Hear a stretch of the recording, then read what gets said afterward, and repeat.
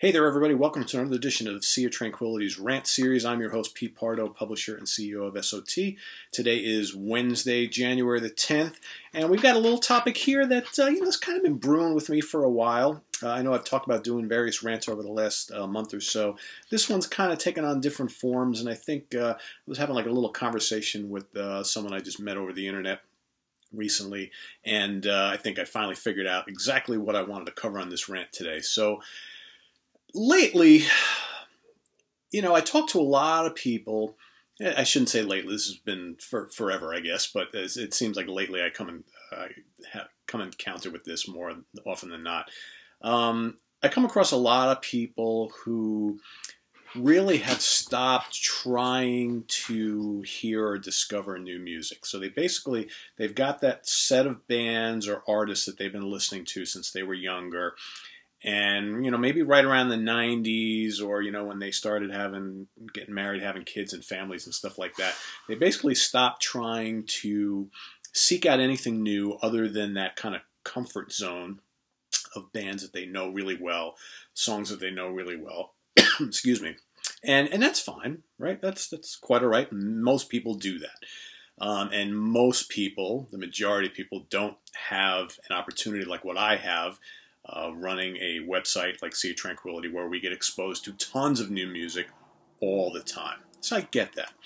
Um, what my rant today is is more about you know if you are a true music lover, there are very easy ways to go out and find and discover new music. Okay, uh, let's you know go by the obvious, right? So we live in an age of technology where you've got like YouTube and Spotify and you know Google and iHeartRadio and Sirius and you know no short Bandcamp and SoundCloud, all these places that you can go to kind of sample and listen to new music and what have you. So there's there's really you know a lot of avenues to take if you are look if you're someone who's looking to discover like say bands that are similar. So if you're a metal fan, there's easy ways to find other new you know metal bands. You can go out and read websites like Sea of Tranquility, what have you. You can read reviews and stuff. So it's, it's very easy to go out and find new stuff if you're looking for that. Uh, one of the things that I've loved you know, YouTube, as great as it is, it has its drawbacks. You know, a lot of people, especially, you know, younger folks today, guys, I'm sorry, I hate to kind of single you out there, but it's true, uh, don't like to buy new music. There's a lot of people out there today who feel that music should be free. So you can very easily go to YouTube and just basically find anything, whether it's live concerts, uh, videos, or just albums that have been, you know, loaded up onto YouTube. So I get that. So I, I like that aspect. So there there have been numerous times where I've gone to YouTube to look up a band or an album. Uh, I'll listen to it. If it's something I really like, I then go and try to buy it somewhere, Amazon or what have you. Right? I try to to try and search for it. But what I really love about YouTube is that, you know, when I'm going and looking at something, I'm watching something on YouTube, you get those great recommendations on the right hand side for things that are similar. So for me, I'm a like complete junkie for like unknown heavy bands of like the 70s, late 60s, 70s, and early 80s, right? Just that's my thing. So, you know, I have discovered all sorts of great like underground bands, even bands that were signed to like, you know, major labels, but maybe had one album and then they were dropped never to be heard from again. So, you know, I've been able to discover all sorts of cool bands like over the last decade or so, you know, that I never would have thought to listen to before. You know, bands like, you know, Tucky Buzzard, right? British band. Uh, November, great late 60s, early 70s heavy rock band from, from Sweden. Fantastic band. Alpha Centauri, something I recently discovered, another great band from the Colorado area. Uh, Message, Night Sun, uh, Orangutan, you know, all these crazy bands that most people have never heard of before, um, but I've been able to discover, you know, just by going and looking up something. Even like going, uh, uh, Budgie is a perfect example. So Budgie is a band that's been around forever, one of the unsung heavy bands in hard rock and metal history, right? Um, I never really got into them until probably about 10, 15 years ago. Although I always knew of a bunch of their songs, I never owned anything by them. Uh, one day I just decided to take the plunge, and that you know that opened up a whole can of worms right there. But you know, you go onto YouTube and you start looking up like Budgie songs, and you'll get recommended a lot of great, kind of unknown, undiscovered, heavy rock and early metal, proto metal type bands, right? So it's really so it's just so easy to find stuff nowadays. You know, another thing too, like I, I went into uh, I don't know about a year or so ago. I've always been a fan of Chicago, right? Big fan. Love the early Chicago stuff. Great stuff. Um, I've always kind of liked Blood, Sweat, and Tears, but other than a very good, the limited uh, greatest hits set, that's all I ever had for years. So finally one day I was like, you know what? I want to just kind of dig into Blood, Sweat, and Tears a little bit more because you know so many people talk so highly about a lot of their albums. So of course I went onto YouTube. I started listening to other songs other than what I had in the greatest hits, and I'm like, I'm really missing out. Okay, so of course I went and got all the Blood, Sweat, Tears albums, and I'm glad I did some great stuff there. But by doing that, it opened me up to other bands from that same time period that were out there with Chicago and Blood, Sweat, and Tears, but maybe didn't quite get the notoriety. Okay, bands like Chase and Sons of Champlin. Okay, Bill Champlin actually then went and joined Chicago in the early '80s, but he had a very good band throughout the uh, the, the '70s. Uh, Ballin' Jack, Chase, great horn bands. Okay, there were so many good rock and roll horn bands in the 70s. So again, some stuff that you know never really, never really discovered. Uh, you know, new wave of British heavy metal. Okay, I've always liked kind of like the main bands from that area, that era. You know, Maiden, Def Leppard, Saxon, Diamond Head, right? You know, all the obvious ones. But man, over the last couple of years, a band like Satan. Never listened to them ever and discovered some great stuff that they put out back in that early 80s time frame. And now they're putting out great new albums. So again, there's a legacy band from the new wave of British heavy metal that I discovered who's now active again releasing great new material. Win-win for me, right? Praying Mantis, another band from that era, from the new wave of British heavy metal, early 80s. I always remember their album covers, right? Cool album covers. Never bought any of their, rec- their records. Discovered them not long ago what a great band. Got a bunch of their albums. Who else? I tell you, another band. Okay, this is probably the um, the one that really resonates with me. So Venom. Now, back in the day, talking the early mid '80s, uh, I actually bought the LP of um, At War with Satan. So at the time, this was I don't know what 85, 86 when, I bought it. I was in, in college in New Paltz. I was living on campus, so it was probably 84, 85, something like that. And for me at the time, that was pretty damn extreme. So, you know, extreme metal didn't really exist back then, but you had like Slayer coming out and Celtic Frost. Um, you know, Possessed was not there yet. You know, Venom were out. You had Motorhead, which were pretty crazy for the time. Um, but I remember buying that LP and thinking, this is kind of crazy. This is even a little scarier than Mercyful Fate. That's the other band I was thinking of before. So I kind of, for all these years, really just kind of cast Venom aside. I really never gave Venom another chance. Kind of didn't do it for me. Yeah, I like some tunes, whatever. But it wasn't until like the last couple of years that I said, you know, you know, I talked to so many people, fellow metalheads, who really think highly about the music of Venom. And I said, I'm going to give these guys another chance. So I did. And let me just say, you know, Welcome to Hell, Black Metal, At War with Satan, and Possessed are four great fucking albums, folks you know, as shitty produced as they are, and they're raw, they're rough. You know, these guys weren't the best musicians or singers on the planet, and all that kind of stuff. And you know, their their songs are at times a little ridiculous. You know, the satanic lyrics and whatnot. But man, there's like a charm about those old Venom songs that you just can't deny. You just can't. It's like I, I pop on one of those albums today, and I'm like, you know, why did I not get into this? You know, 30 years ago. I guess better late than never. Okay, that's the point of this whole show here. It's like you're never too old. It's never too late to discover new music, whether it's new music by new bands or old music by bands that you maybe didn't get into back in the day. Right? So, I mean, you know, what other stuff? I mean, you know, as far as new stuff, I'm discovering new music from like Swedish bands all the time, folks. There is so, if you love like classic hard rock and roll from the 70s, you really got to be discovering and go seek out some of these bands from Sweden. You know, Graveyard, who were, you know, broke up, now they're back together. Horisont, Siena Roots, uh, Captain Crimson, Troubled Horse, Mangrove, Blues Pills. The, the, the list goes on and on. There's so many great, great hard rock bands from Sweden. It's just unbelievable. It's not hard to find their albums either. Uh, what else here? What else haven't I covered? Classic bands. Okay, I'm just as guilty as anybody else, right? I have, in addition, you see, I own a lot of music. In a lot of instances, a band that I really like, I'm going to go out and I'm going to own their whole catalog. It's just the way I am.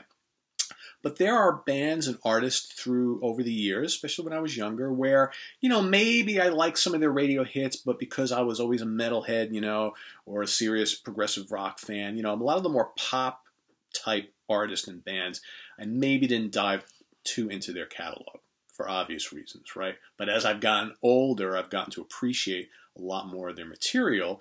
And, you know, case in point, Elton John, all right? Always liked Elton's hits, always did, but I just never felt the need to go and own any of the rest of uh, any of his albums, other than I had a I had a double disc greatest hits set for years, and to me that probably had everything on there that I ever needed. But lo and behold, you know, you have something like uh, Sirius XM, right? And you listen to deep tracks or some shit like that, and all of a sudden you hear this Elton John tune, and you're like, wait a second, that's great. That's not on my greatest hits set, right? So then all of a sudden you start going on, you go onto Amazon and you pop up, you know, whatever, um, the Westies album or any of his old albums, you know, Caribou and whatnot, and you start listening to some of these other tracks, you get samples of some of these other tracks, and you realize, okay, three quarters of those songs are not on my greatest hit set, and those are really good. Right? I mean, it happens all the time. So someone like me is never satisfied with just having the hits because I think the point here is that a lot of these bands have a lot more to their repertoire than just those half a dozen or dozen, or in Elton's case, you know, dozens of radio hits and you know FM staples.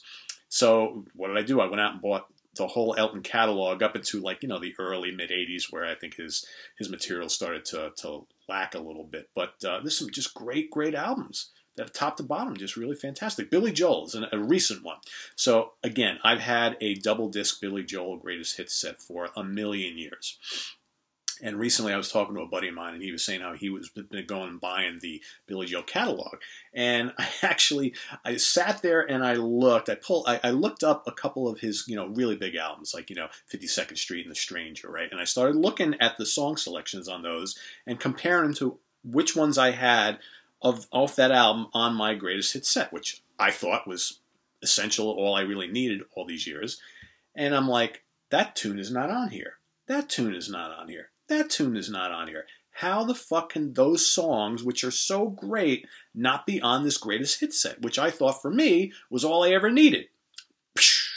Right? Shame on me. So now what am I doing? I'm going out and buying the Billy Joel collect, uh, all the Billy Joel albums because there's just so much material on them that I've always liked, but for whatever reason, I kind of forgot about thinking I had all the essential stuff on this greatest hit set, which is not complete enough, not nearly. Okay, what other other bands that fall into that category? Santana. Okay, you know, yeah, I've I've always had the first couple albums, which are legendary, they're great, and I had a hits collection. But for many many years, I never bothered with a lot of those late '70s and '80s, even the '90s stuff and I just decided a couple years ago, I'm going to go out and really dive deep into Santana stuff because I want, you know, there's a lot of great stuff that's not on those albums that I have or on the hits collection. Boatload of great material. Okay? Same thing with uh, 10cc, another band. That hits collection was just not nearly enough. So much great material, great band. Um, probably like my most recent uh, that I've really kind of taken a deep dive on, and I'm so glad I did, is Creedence Clearwater Revival. I've always loved Creedence, but I've always had those two greatest hit sets, which most people think, again, is all you'll ever need. So a couple months ago, I was listening to, again, I think I was listening to uh, to Sirius XM, Deep Tracks. And over the span of a couple days, you know, driving around in the car, I heard a couple tunes, Creedence songs, that were not on those two hit sets that were kick ass. And I was like, I got to have those, right? So I started looking up information. They, they've recently remastered and reissued all the Creedence albums. There's not a ton of them. I think there's like seven or eight of them. Uh, and I had a conversation with a good friend of mine who's also a fan. And I said point blank, I was like, you know, I'm really thinking about diving into this Creedence catalog. There's not that many albums. They've all been remastered and reissued. They're fairly inexpensive. What do you think? And he says, yeah, there's some good material on there, but you know what? If you have the two hit sets, you probably don't need anything else. I was like, okay, good to know. So I kind of mulled that around in my head a little bit, and I started to listen to more samples. I went on YouTube, listened to a couple of the albums, you know, front to back, and I was like, I gotta have these. There's some great shit on there. So I went and did it, and I do not regret it at all. Those, especially those first like five or six Creedence albums, are just killer. This is just great late '60s rock and roll, folks. I mean, really good. John Fogerty, what a killer player, great guitarist. So I'm happy I did that. You know what else? Steely Dan, another band. I've loved Steely Dan forever, but I all I ever had was like a two disc collection, which was really good. But I decided, I don't know, like five, ten years ago, I got to go out and get all the Steely Dan CDs. Glad I did. Great albums. What else? Big Star, another band. You know, I like that kind of like that like late seventies, early eighties kind of like pop pop rock stuff. You know, I always liked like the Raspberries, like the power pop, I guess you call it. Big Star, another band I discovered um, just by talking to people and you know saying people recommending stuff. What else here? What else? ZZ Top. Again, another band I've loved forever. Had a couple of their albums here and there and a double disc hits collection for the last 25 years. But it wasn't until like maybe a decade ago that I said, you know what? I know there's more to ZZ Top than this. And man, those first bunch of albums are just like so good. Heavy blues rock, just killer, killer stuff. So you know, and and lately, what my kind of new thing is now, uh, the last couple of months anyway, I've, I've, for whatever reason I've been on a real blues kick. I guess you know, acquiring a couple of uh, Gibson Les Pauls has got me into uh, specifically like those great kind of uh, less bluesy Les Paul players. I think you know, being a fan of Government Mule and Warren Haynes for so many years is I, have been on a Government Mule kick the last like year, big time. Even though I've always liked them, uh, and then you know, being into like Les Paul Gibson Les Paul music, um, guitar style music. I just uh, I've rediscovered some of those like British blues rock bands from like the 60s and the early 70s. So specifically like the early Fleetwood Mac, Peter Green stuff. Great, great stuff. Um, Savoy Brown, Kim Simmonds and Savoy Brown. Uh, John Mayall's Blues Breakers. You know, if you're into great guitar players, blues guitar players, British white boy blues guitar players specifically, who played Les Pauls, you know, Clapton, Peter Green, Mick Taylor. It does not get any better than that. You know, Chicken Shack, Mr. Webb on guitar, killer. Aynsley Dunbar's Retaliation. I mean, just all this stuff is just like killer, killer music that for whatever reason you know, has been in the popular domain for decades, but I just, uh, for whatever reason, I never discovered. But all it took was me diving into one of them, and, and in this case, it was uh, the Fleetwood Mac, the Peter Green era, the early Fleetwood Mac. I've always loved Fleetwood Mac, but I never really got into the blues era much. That opened up the doors to all these other bands. Okay, again, I kick myself because it's like, you know, why didn't I listen to these bands, you know, before? But you know, your taste change over years. Your your your taste broaden up. You know, I was for a long time I was just a hard rock and metal guy forever. Then I got into prog and jazz and that the jazz thing. I'm not even to talk about jazz today because you know I've discovered so much uh, cool jazz stuff, new and old, over the last you know 15, 20 years. But but anyway, I think the, I think you get the point of this whole thing. Oh, one last thing. Another band I just discovered recently, just from a Facebook thread discussion. Okay, this band called Blackthorne from the early '90s. Graham Bonnet, and Bob Kulick and Company, you know, like a, basically a one-off band. They did one album. I just picked it up just recently. Holy cow, is that great! Blistering, like early '90s metal and hard rock. It's again, Johnny Van Zant band, another one. Okay, always loved Johnny. Loved him as a singer for Skynyrd. Saw Johnny Van Zant band open for Black Sabbath a million years ago in New Jersey on the Mob Rules tour for whatever reason, I never, and I love Southern rock. I own like almost every Southern rock album by every great Southern rock band there is. For whatever reason, I never had a, a Johnny Van Zant band album. Never listened to any of his stuff till the last couple of years. And now I'm like, what what was I thinking? A, a great Southern rock band. Johnny and his band were kick ass. You know, Angel. All right. My friend Butch is gonna gonna kick me about this, but uh, Angel, another great band. You know, they I was a huge Kiss fan back in the day. They were signed to Casablanca Records. I Casablanca Records. I remember seeing all the ads and seeing the albums, but back in the day, I never bothered to listen to them. Never bought an album, just never bothered to see them live, nothing. Till about maybe a decade ago, I decided, you know what, I'm going to give Angel a chance. Whoo boy, especially those first couple albums. So again, this is this is me. Not everybody's like me. I am always willing to find and seek out new music. Again, I, I get um, you know we get new music here at Sea Tranquility all the time. So there's never a shortage of new things that come in, whether it be physical product or downloads for us to check out and review. So it's it's very rare that I miss out on any of the new stuff that comes out, the new bands, because it's just the market's flooded with it. But I love when I actually go and find stuff on my own, because that you know I, again I go that extra mile. I try to do it. So I guess the point of this whole thing, me pontificating here for the last 20 minutes, is that it's never too late to go out and find new music. Again, whether it's new music by new bands or new music by legacy bands, don't forget about that either. Okay, because a lot of these old bands still putting out good new music. You know, you may not hear it on the radio. We've already gone into that.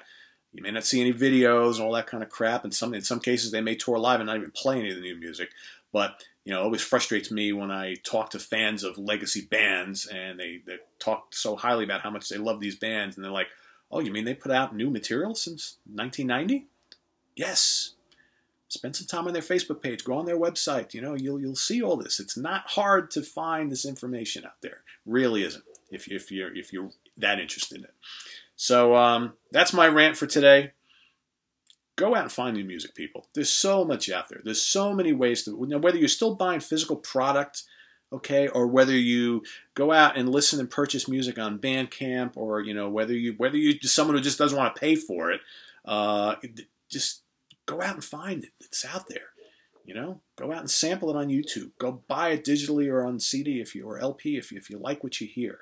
Support these bands and and go out and search for them they're out there. They're waiting to be discovered. There's there's great new and old music just waiting to be discovered. You know, for all you old bands uh, who maybe aren't, aren't even in existence anymore, and you thought that people forgot about you 40 years ago, there are people like me, and I'm sure a lot more out there that are discovering you in all the darkest, most intricate holes and valleys on the internet. It's out there, right? And we're discovering you. you you're, you're not going to be forgotten. So till next time, I am Pete Pardo. Visit us on the web at www.seaoftranquility.org. We're on Facebook, we're on Twitter, and we're here on the mighty YouTube. Uh, we've got another rant coming up probably this weekend. Uh, I've been promising you guys I'm going to do one on the rock and roll biographies. I always read a ton of them, and I just kind of want to talk a little bit about those. A lot of good ones out there. Another great way to discover music by bands and artists that maybe you hadn't before by reading, you know, about their lives and recording history. So anyway, take care. We'll see you next time. Bye bye.